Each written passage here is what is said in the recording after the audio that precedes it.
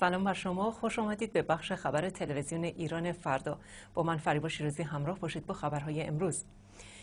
توتی سلطانی مادر محسن قشقایی زاده زندانی سیاسی که 29 اردیبهشت 93 و پس از ملاقات با پسرش مفقود شده بود بر اثر تصادف درگذشته است. دوستان محسن قشقایی زاده خبر دادند مادر این زندانی سیاسی پس از خروج از زندان اوین در اتوبان چمران تصادف کرده و توسط راننده به بیمارستان شریعتی منتقل شده است. بنا به گفته راننده اتومبیل مذکور بعد از تصادف فردی کیف خانم سلطانی را که بر زمین افتاده بود برمیدارد و متواری می شود و به همین دلیل وی در بیمارستان به عنوان مجهول الهویه ثبت می شود به روز بعد از تصادف در اثر مرگ مغزی فوت می کند محسن قشقایی زاده پیش از این در اعتراض به عدم مرخصی برای یافتن مادرش دست به اعتصاب قضا زده بود. چندی قبل نیز مادر و همسر پیمان عارفی در بازگشت از ملاقات وی تصادف کردند و درگذشتند. در پی حمله چندی قبل ماموران امنیتی به بند 350 زندان اوین سایت کلمه خبر داد پس از آن هیچ کس حاضر نشده ریاست این بند را بر عهده بگیرد. به نوشته این وبسایت علت این مسئله محکومیت گسترده داخلی و خارجی و سابقه قرار گرفتن نام یکی از مدیران سابق این بند در لیست تحریم ها بوده و در حال حاضر نزد مدیران زندان اوین ریاست این بند به پستی نامطلوب تبدیل شده است. سرانجام مسعود اعتمادیان که هیچ اطلاعی از این بند ویژه ندارد با پذیرش این پست عملا به مهره در دست تصمیم گیران پشت پرده که ترجیح میدن نامی از آنها در میان نباشد بدل شده است. برخی گزارش ها نیز حکایت از آن دارد که مأموریت اصلی مسعود اعتمادیان که البته گمان می رود خود او نیز از آن بیخبر باشد انحلال بند 350 است. به شکلی که ظرف چهل روز بر اثر انتقال های غیر منتظره و تبعیدهای غیر قانونی حدود 20 درصد از مجموع زندانیان این بند پراکنده شدند. کاظم صدیقی امام جمعه موقت تهران گفته پیکر شیخ فضل الله نوری پس از به دار آویخته شدن قرآن تلاوت می کرده است آقای صدیقی همچنین تاکید کرده پیکر شیخ فضل الله نوری با گذشت سه سال از زمان اعدام وی همچنان در قبر سالم مانده بود شیخ فضل الله نوری یکی از روحانیون شیعه بود که در جریان انقلاب مشروطه در تهران به دار آویخته شد کاظم صدیقی پیشتر نیز گفته بود علی خامنه ای شبانه در بیابانهای اطراف قم با امام زمان دیدار و در مورد نحوه اداره کشور از وی مشورت می‌گیرد. دادالله شیبانی یکی از فرماندهان سپاه پاسداران در سوریه کشته شد. وی دومین فرمانده سپاه استان فارس است که در دو ماه گذشته در سوریه کشته شده است. عبدالله اسکندری یکی از فرماندهان نیروی زمینی سپاه نیز اوایل خرداد ماه در سوریه کشته شد که پیکر وی تاکنون به ایران باز نگشته است.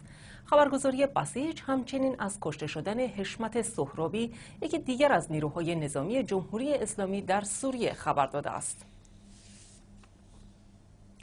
نمایندگان گروه پنج به علاوه یک در نشست خود در بروکسل بار دیگر بر تعهد خود مبنی بر دستیابی به توافق هسته‌ای تا 20 ژوئیه با ایران تاکید کردند طبق توافق موقت میان جمهوری اسلامی و گروه پنج به علاوه یک تهران برخی از فعالیت های هسته خود را متوقف کرد و در مقابل از برخی تحریم ها علیه جمهوری اسلامی کاسته شد. شش قدرت جهانی بار دیگر بر تعهد خود مبنی بر دستیابی به توافق با جمهوری اسلامی بر سر پرونده هسته‌ای این کشور تا روز 20 ژوئیه تاکید کردند. به گزارش خبرگزاری فرانسه نمایندگان پنج کشور آمریکا، چین، روسیه، فرانسه و بریتانیا همراه با آلمان روزی شلوغ را با کاترین اشتون مسئول امور سیاست خارجی اتحادیه اروپا پشت سر گذاشتند تا خود را برای مذاکرات هفته آینده با جمهوری اسلامی آماده کنند. مایکل مان سخنگوی خانم اشتون در این زمینه گفت که گروه پنج به علاوه یک در این نشست قصد خود را مبنی بر دستیابی به توافق با جمهوری اسلامی تا روز 20 ژوئیه مورد تاکید قرار داد.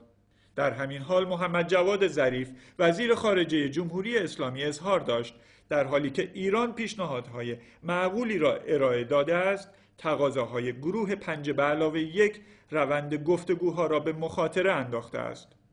خبرگزاری ایرنا از وزیر امور خارجه نقل قول کرده که در دیدار با یک مقام وزارت خارجه کوبا گفته است ایران آماده رسیدن به راه حل است و در این رابطه پیشنهادهای معقولی ارائه داده است. اما ممکن است طرف مقابل با زیاده خواهی مانع توافق شود که در آن صورت مانع به بنبست رسیدن مذاکرات برای دنیا مشخص خواهد شد.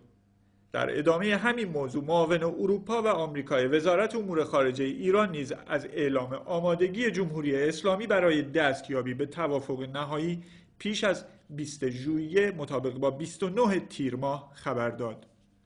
مجید تخت روانچی تصریح کرد که این توافق زمانی حاصل می شود که طرف مقابل از مواضع حد اکثری اجتناب ورزد و به دور از توهمات حقوق هسته کشورمان را مورد احترام قرار دهد.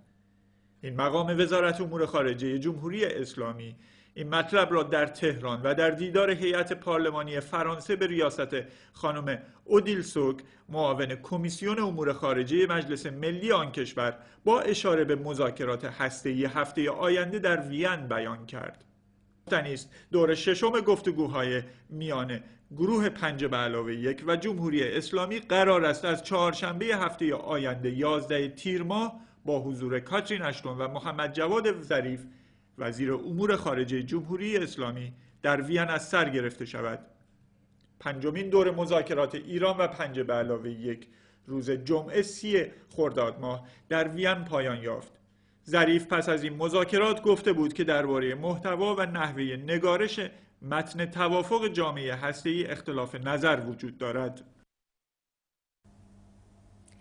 وزیر خارجه آمریکا پیش از برگزاری نشست مشترک با همتایان سعودی، اماراتی و اردنی خود گفت بحران عراق، سوریه و چالش برنامه هسته ایران موجب نگرانی این چهار کشور شده است و در نتیجه ما چیزهای زیادی برای گفتگو داریم.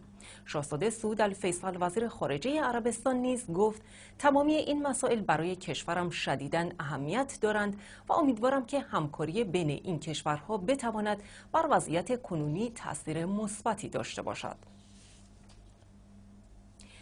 اسرائیل اعلام کرد آماده است به منظور مقابله با شبه نظامیان افراطی در عراق به کشورهای میان روی عرب کمک کند. به گزارش خبرگزاری فرانسه، آویگدر لیبرمن وزیر خارجه اسرائیل در دیدار با جان کری در پاریس گفت افراطیان عراق ثبات کل منطقه خلیج فارس را در معرض خطر قرار دادند. تحرکات گروه تروریستی داعش در عراق و سوریه همچنان ادامه دارد. خبرگزاری رویترز از استقرار شبه نظامیان داعش در شهر ابو کمال سوریه که هم مرز با عراق است خبر دادند. به گفته رویترز اعضای جبهه النصره که گروه افراطی مرتبط با القاعده است در سوریه با داعش اعلام اتحاد کرده است. در ادامه بحران عراق پارلمان این کشور قرار است روز سهشنبه آینده برای تشکیل دولت جدید این کشور تشکیل جلسه دهد. در همین حال جمهوری اسلامی می‌گوید اگر بغداد بخواهد تجهیزات نظامی به عراق میفرستیم. دو روز پیش جان کری وزیر امور خارجه آمریکا درباره دخالت نظامی کشورهای خاورمیانه در عراق هشدار داد. تلویزیون دولتی العراقی اعلام کرد که پارلمان عراق قرار است روز سهشنبه آینده برای تشکیل دولت جدید این کشور جلسه برگزار کند. ریاست جمهوری عراق نیز با صدور بخشنامه از پارلمان این کشور خواست برای آغاز روند تشکیل دولت یکم جولای آینده دهم تیر ماه نشستی برگزار کند. در رویدادی دیگر مرتبط با عراق امیر عبداللهیان معاون عربی و آفریقایی وزارت امور خارجه جمهوری اسلامی تاکید کرده که در صورت درخواست عراق ایران تجهیزات نظامی به این کشور ارسال خواهد کرد. آقای امیر عبداللهیان گفت اگر عراق درخواست کند در چارچوب حقوق بین الملل و قراردادهای متعارف و روشن تجهیزات نظامی به عراق ارسال خواهیم کرد. این سخنان آقای امیر عبداللهیان در حالی بیان می شود که روزنامه نیویورک تایمز به نقل از مقامات آمریکایی خبر داده بود. جمهوری اسلامی به عراق هواپیماهای بدون سرنشین و تجهیزات نظامی ارسال کرده است. نیویورک تایمز همچنین نوشت که جمهوری اسلامی برای کمک به نیروهای عراقی دهها تن تجهیزات نظامی در اختیار آنان قرار داده است. این روزنامه همچنین عنوان می کند که دهها افسر سپاه قدس شاخه برونمرزی سپاه پاسداران به منظور مشاوره به فرماندهان نظامی عراق و کمک به بسیج بیش از دو هزار نفر از شیعیان جنوب عراق به این کشور اعزام شدند. جانکری وزیر امور خارجه آمریکا نیز روز چهارشنبه به کشورهای خاورمیانه درباره اقدام نظامی در عراق هشدار داد و گفت که دخالت آنها ممکن است تنش‌های قومی فعلی در این کشور را تشدید کند. اما امیر عبداللهیان می‌گوید که عراق تا کنون درخواست تجهیزات نظامی نکرده و این کشور از توانایی لازم برای مقابله با نیروهای داعش برخوردار است. پیش از این محمد مجید الشیخ سفیر عراق در تهران نیز در جمع خبرنگاران گفته بود دولت عراق هیچ گونه کمک ویژه‌ای از کشورهای خارجی نخواسته و با وحدت و مقاومت ملتش در مقابل داعش می ایستد. وی تاکید کرده بود که عراق به هیچ دولت خارجی از جمله ایران نه از نظر سلاح و نه از نظر نیروی انسانی و مالی نیازی ندارد در همین راستا حسن روحانی رئیس جمهوری اسلامی نیز گفته است عراق خود قادر است تروریسم را دفع کند اما اگر از ایران کمک بخواهد جمهوری اسلامی در چارچوب قوانین بین المللی آماده دادن هر کمکی است. این در حالی است که برخی منابع خبری غربی از حضور قاسم سلیمانی فرمانده سپاه قدس در عراق خبر دادند. اما مرزی افخم سخنگوی وزارت خارجه جمهوری اسلامی و محمد مجید شیخ سفیر عراق در تهران این گزارش ها را تکذیب کردند. در رویدادی دیگر نیز نوری المالکی نخست وزیر عراق گزارش های دو روز گذشته مبنی بر حمله هوایی جنگنده های ارتش سوریه به برخی مناطق تحت کنترل داعش را در عراق تایید کرد وی در مصاحبه با تلویزیون بی بی سی گفت که جنگنده های نظامی سوریه پایگاه های نظامیان را در مناطق مرزی عراق با سوریه بمباران کردند. مالکی در این مصاحبه از هر گونه اقدام علیه گروه دولت اسلامی عراق و شام استقبال کرد. او در این حال گفت که عراق درخواستی در این زمینه ارائه نداده بود. سخنان نخست وزیر عراق در حالی مطرح شده که دولت سوریه وقوع این حملات را تکذیب کرده است در تحول دیگر منابع امنیتی عراق از کشته شدن 19 نفر بر اثر انفجار تروریستی در شهر کازمیه در شمال بغداد خبر دادند به گزارش پایگاه خبری دمشق نیوز توریست ها شب گذشته یک بمب را در منطقه باب دروازه کازمیه در شمال بغداد منفجر کردند و بر اساس این گزارش در این انفجار 19 نفر کشته و 41 نفر دیگر زخمی شدند. در خبری دیگر مرتبط با عراق هم مقام های این کشور می‌گویند نیروهای ویژه ارتش که با هلیکوپتر در نزدیکی دانشگاه شهر تکریت فرود آمدند در این منطقه با شبه نظامیان داعش درگیر شدند. خبرگزاری های بینالمللی به نقل از تلویزیون العراقی گزارش دادند که در این درگیری ها ده ها تروریست توسط ارتش عراق کشته شدند. همزمان نوری المالکی نخست وزیر عراق در دیدار با ویلیام هیگ وزیر امور خارجه بریتانیا در بغداد بر لزوم استفاده از نیروی نظامی در کنار اقدامات سیاسی لازم برای مقابله با حملات گروه داعش تاکید کرد. ویلیام هگ نیز از شهروندان عراق و رهبران کردهای این کشور خواست برای مقابله با گروه دولت اسلامی شام و عراق با یکدیگر متحد شوند. در رویداد دیگر جنبش افسران آزاد استان نینوا اعلام کرد. عناصر گروه تروریستی داعش دوازده تلافروشی را در شهر موسل مرکز این استان قارت کردند. به گزارش رسانه های خبری عراق یکی از این توریریسا به نام ابو زید المهاجر که طبعی مغرب بوده و اقدام به سرقت از تلافروشی ها کرده بود توسط جنبش افسران آزاد به قتل رسید داعش پیشتر بانک های موسر را هم قارت کرده بود عراق از سخت پیش شاهد ناآرامی های گسترده در پی حملات گروه تروریستی داعش بوده است.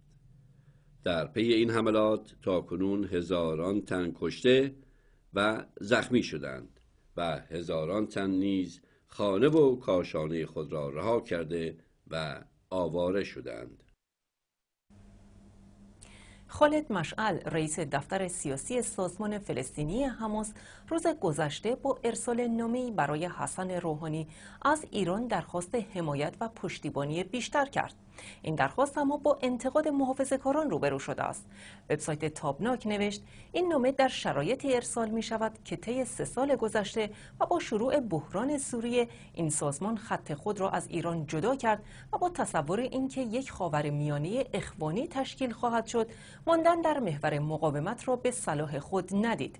تابناک همچنین نوشته است اکنون گویا مشعل فراموش کرده که خود و دیگر رهبران سازمان حماس طی سالهای اخیر مرکز توجه خود را به سوی ترکیه، قطر و مصر معطوف کرده و کار را به جایی رساندند که از رجب طیب اردوغان نخست وزیر ترکیه با عنوان رهبر جهان اسلام یاد کردند. کمیته روابط خارجی مجلس نمایندگان آمریکا اصلاحیه قانونی را تصویب کرد که بر اساس آن نهادها و مؤسسات مالی بین المللی که در کار تأمین مالی حزب الله فعالیت دارند تحت تحریم قرار می گیرند. ایالات متحده در آگوست سال گذشته نیز حزب الله را به خاطر حمایت از دولت سوریه تحریم کرده بود. همچنین در سپتامبر سال گذشته آمریکا بار دیگر تحریم های مالی بیشتری را علیه حسن نصرالله دبیر کل حزب الله به علت کمک به بشار اسد اعمال کرد. سرگئی لاوروف و فرانک والتر اشتانمایر وزیران امور خارجه روسیه و آلمان در گفتگوی تلفنی از طرفهای درگیر در مناقشه اوکراین خواستند آتش بس را رعایت کنند. طرفین در این گفتگوی تلفنی همچنین خواستار آزادی ناظران سازمان امنیت و همکاری اروپا در شرق اوکراین شدند. دو گروه از ناظران سازمان امنیت و همکاری اروپا شامل هشت نفر از یک ماه پیش توسط شبه نظامیان مناطق دونسک و لوهانسک دستگیر شدند. در همین راستا جان کری وزیر امور خارجه آمریکا از روسیه خواست تلاش‌های عملی خود به منظور خلع سلاح جدایی طلبان در شرق اوکراین را ثابت کند. دولت ترکیه اعلام کرده لایحه ای را در زمینه مذاکرات صلح میان ترکیه و پکاکا تنظیم کرده و طی روزهای آینده به پارلمان ارائه خواهد کرد. مهستان بختیاری و جزئیات بیشتر از این لایحه در جریان مذاکرات صلح میان دولت ترکیه و پکاکا از سال گذشته هستیم. باید گفت مذاکرات پیچیده و دشواری که هرچند قدم های امیدوار کننده ای از سوی طرفین برداشته شده اما هر لحظه هر موضوعی می‌تونه روند این مذاکرات رو تهدید بکنه. روز چهارشنبه در همین رابطه آقای بشیر آتالای معاون نخست وزیر ترکیه گفته که لایحه اصلاحی رو درباره روند مذاکرات صلح به پارلمان خواهد برد. لایحه هفت ماده ای که به گفته آقای آتالای امکان تعامل بیشتری رو با پکاکا به وجود خواهد آورد و بر اساس این لایحه حتی زمینه بازگشت تعداد زیادی از اعضای پکاکا به جامعه ترکیه فراهم خواهد شد. البته در طی یک سال گذشته همواره اعضای ارشد پکاکا و فرماندهان نظامی اونها انتقاد کرده بودن از روند کند مذاکرات و حتی خود ماهیت مذاکرات رو یک ترفند تبلیغاتی سیاسی از سوی دولت دونسته بودن و در مواردی هم تهدید کرده بودن که اگر در این زمینه گام جدی برداشته نشه اونها به مواضع قبلی خودشون باز خواهند گشت. از جمله در این ارتباط هفته گذشته آقای مراد کارایلان فرمانده نظامی پکاکا مجددا همین موضوع رو مطرح کرد و گفت که دولت در این باره کوتاهی می‌کنه. از سوی دیگه هفته پیش هم پگاکا نهایتا تهدید کرده بود که اگر ظرف دو هفته آینده تغییری در روند مذاکرات داده نشه و مسیر مذاکرات به همین شکل باشه و به خواسته های اونها توجهی نشه درگیری ها از سر گرفته خواهد شد. تهدیدهایی که بسیاری رو از این بابت نگران کرده چرا که دست کم این بار بسیاری امیدوار بودن این دور از مذاکرات به نتیجه برسه. البته خود آقای عبدالله اوجالان مواضع اخیرشون تا حدود زیادی منعطفتر شده در قبال ادامه مذاکرات صلح. ایشون هنوز معتقد این مذاکرات جای گفتگو و بحث و ادامه داره. یادمون هست همین دو هفته پیش بود که در این رابطه ایشون اعلام کرد که در این ماه مذاکرات مهمی رو با اعضای دولت خواهد داشت. مذاکراتی که پیامدهای مثبت و مهمی رو امیدوار هست به دنبال داشته باشه. اما حالا جدای از این موضوع لایحه اخیری که آقای بشیر آتلای از اون صحبت می‌کنه در واقع در امتداد اقدامات سال گذشته دولت بود که در مسیر اصلاح قانون اساسی لوایحی رو در جهت حمایت از مردم کرد و دادن برخی حقوق به اونها در پارلمان تصویب کرد. هرچند برخی نمایندگان احزاب کردی همون موقع گفتن که این گونه اقدامات کافی نیست و یا پکاکا اون رو شگری تبلیغاتی از سوی دولت دونسته بود. اما به نظر می‌رسه خود دولت ترکیه هم از جهات زیادی تمایل به نتیجه بخشی مذاکرات داره. نتیجه ای که به باور بسیاری از کارشناسان هم پکاکا و هم دولت ترکیه از اون سود خواهند برد و طرفین از اون منتفع خواهند شد. با این همه آقای بشیر آتالای در مورد همین لایه اخیر گفته که تهیه نقشه را در تدوین مذاکرات بسیار مهم هست که این موضوع رو انجام دادیم. منتظریم لایحه ما رو وزرا امضا بکنن و ظرف چند روز آینده اون رو به پارلمان ارائه می‌کنیم. محمد رضا نقدی رئیس سازمان بسیج می‌گوید آرایشگران نقش بسزایی در جبهه فرهنگی انقلاب دارند و امروز در خط مقدم این جبهه قرار دارند. و همچنین به افرادی که ظاهر خود را مطابق مدل های غربی آرایش می کنند هشدار داده که این ظاهر بر باطن آنها نیز تاثیر خواهد گذاشت.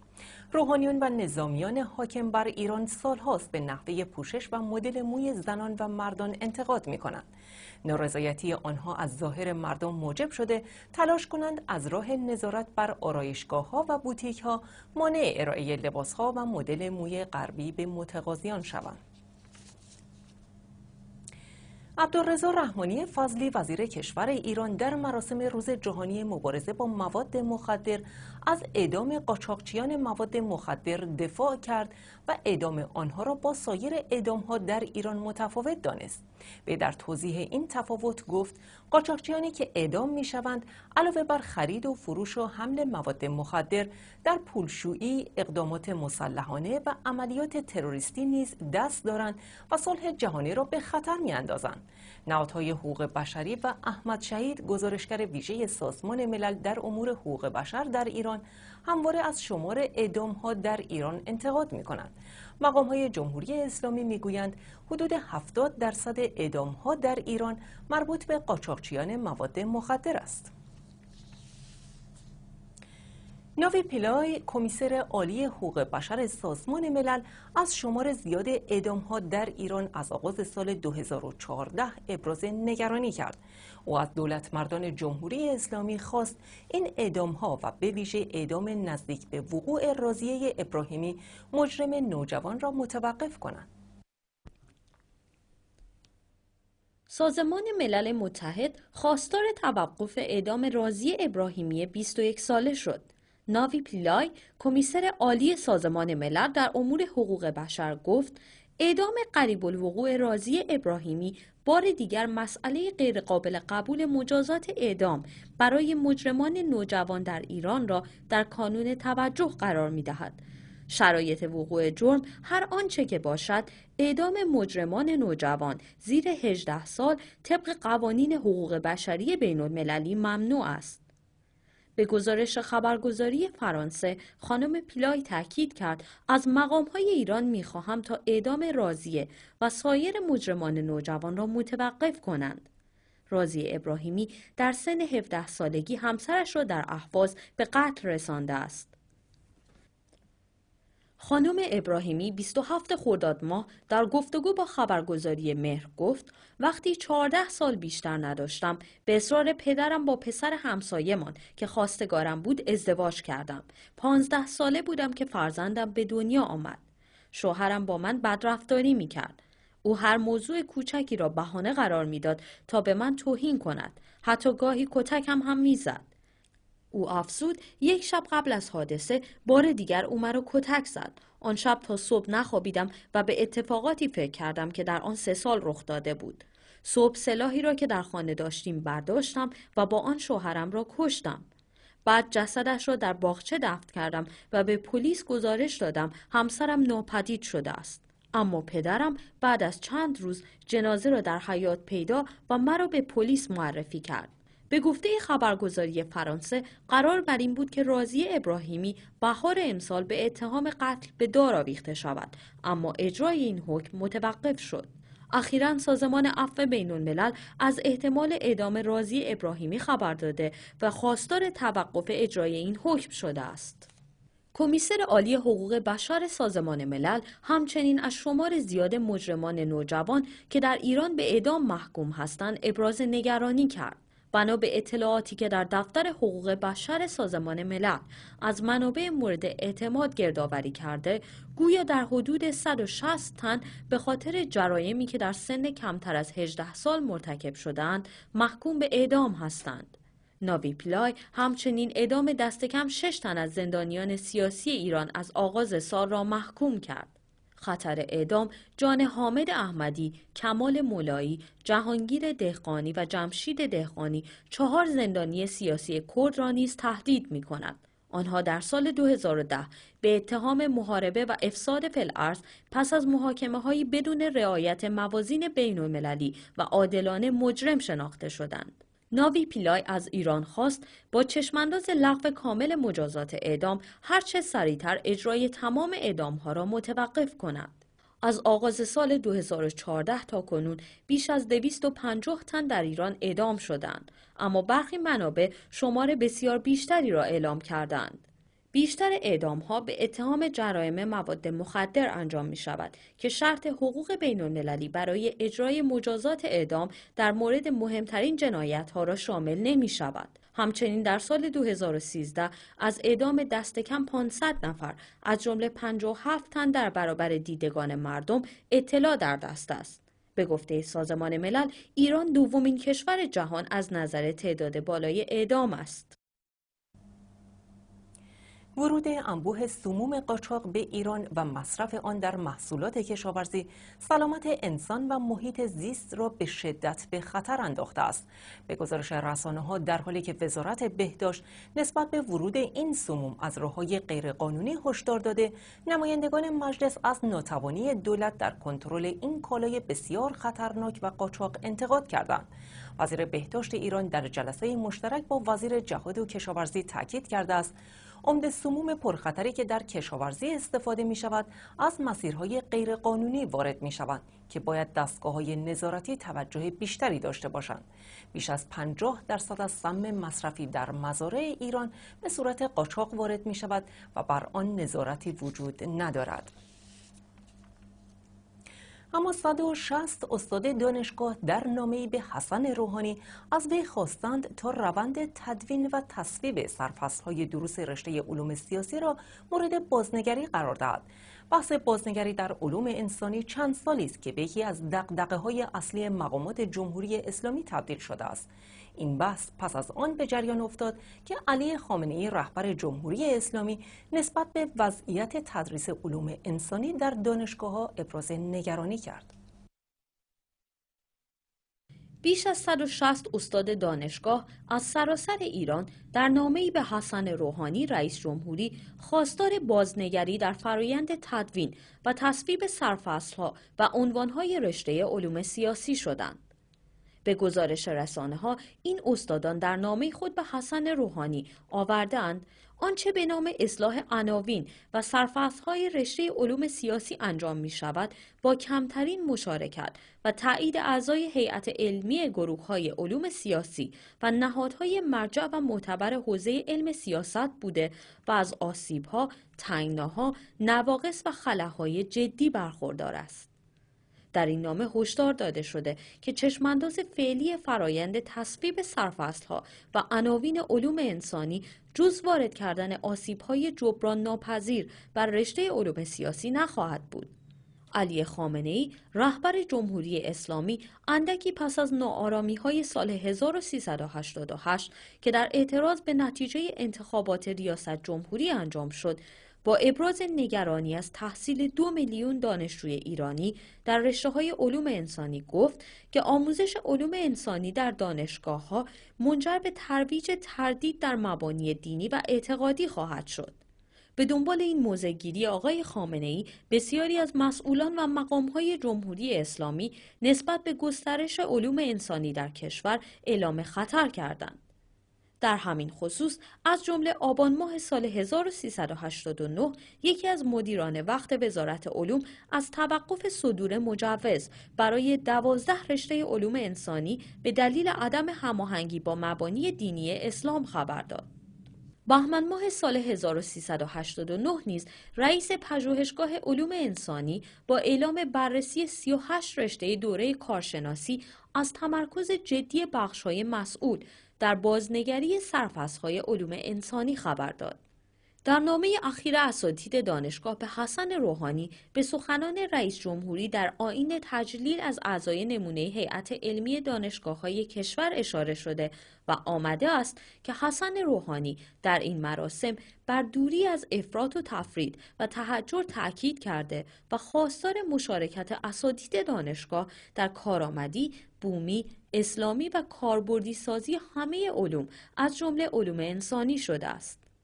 این اساتید در پایان آوردند تقاضا داریم ترتیبی اتخاذ فرمایید تا با توقف موقت یک ساله اجرای آن. اصلاح عناوین و سرفصل‌های رشته علوم انسانی زمینه مشارکت گروه های علوم سیاسی دانشگاه ها و مراجع معتبر علمی این حوزه در امر بازنگری عناوین و سرفصل‌های دروس رشته علوم انسانی فراهم گردد.